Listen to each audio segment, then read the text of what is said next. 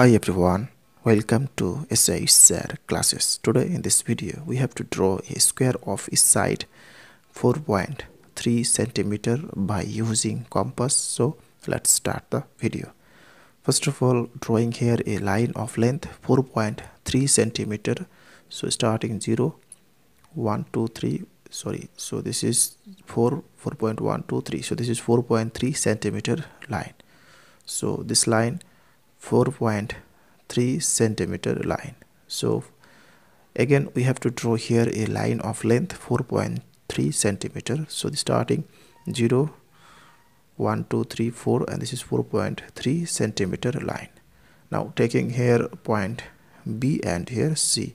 Now we have to draw a 90 degree angle on the point b. So putting the compass on the point b and taking any length and drawing an arc by this way with same length and putting the compass here and cut here and putting the compass here and cut here and drawing an arc here. Again with same length and putting the compass here and cut here. So both the curve intersect at a point. Now first joining this line to get here a 90 degree angle.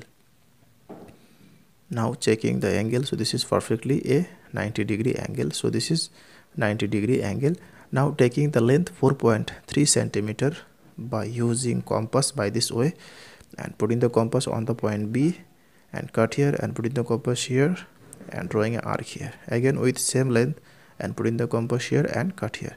So both the curve intersect at a point.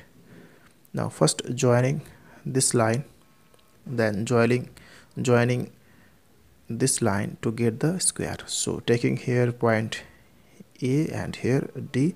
So this is 4.3 centimeter this side 4.3 centimeter this side 4.3 centimeter and this side also 4.3 centimeter.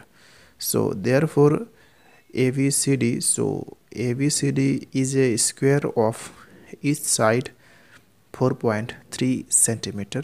So this is the process to construct a square. That's all thanks for watching. If this video is helpful to you then please share it with your friend. Thanks for watching